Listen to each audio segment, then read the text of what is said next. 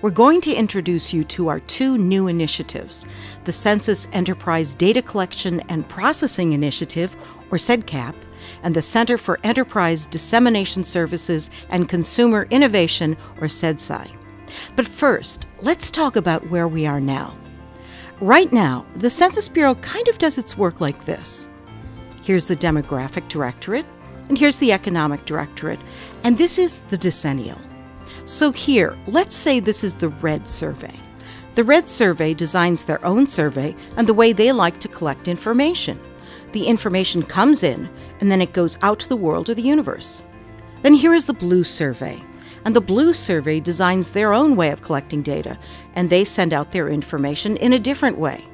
Oh, and while we're at it, let's say we have a green census. Oh, this information is being collected in yet a different way. So there are many different systems at the Census Bureau for managing survey samples, data collection, data capture, data processing. And this is not just for two or three surveys. This happens for more than 100 surveys. We have different systems, all doing the same thing. The result is that we've been working almost like in silos, separate and distinct silos, and the silos are not connected. That makes it inefficient and expensive and difficult to manage. It's almost like we are different companies under one roof. So, where are we going? We are going to streamline our processes. We're going to keep pace with technology. We're going to integrate our systems. And we're going to save the taxpayers money. These are all good things. We're going to create one system called CEDCAP, or Census Enterprise Data Collection and Processing. It will handle all of the data collection and processing for the entire agency.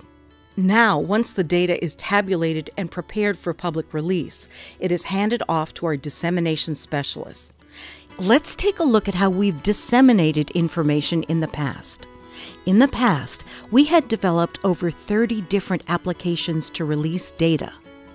We used a variety of hardware platforms and software tools. The bottom line we were not all disseminating data in the same way.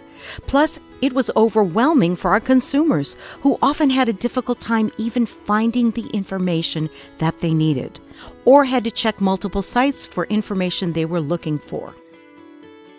So now we're going to form another center, and this one is called the Center for Enterprise Dissemination Services and Consumer Innovation, or CEDSCI. CEDSCI will involve one centralized process. All of the Census Bureau will handle data dissemination in the same way, and it will all be done through shared services. Here, the data will come into one central platform, a shared services platform. And then from this platform, the data will go out to the world in the form of APIs, interactive web tools, data visualizations, mapping, and more. This way, we can focus on creating new products for our consumers.